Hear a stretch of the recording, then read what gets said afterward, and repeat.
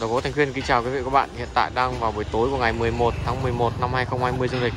Hiện tại tôi đang quay trực tiếp tại cơ sở Thành Khuyên, chuyên sản xuất mặt hàng về đồ thờ. Thế thì hôm nay cơ sở chúng tôi vừa bốc xếp một lô hàng đồ thờ đấy để vận chuyển vào trong miền Nam.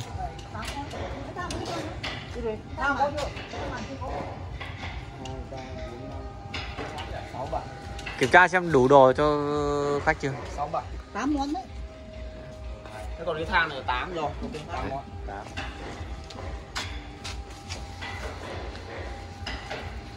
Video clip tôi đang quay trực tiếp tại cơ sở Thành Quyên chuyên sản xuất các loại mặt hàng về đồ thờ.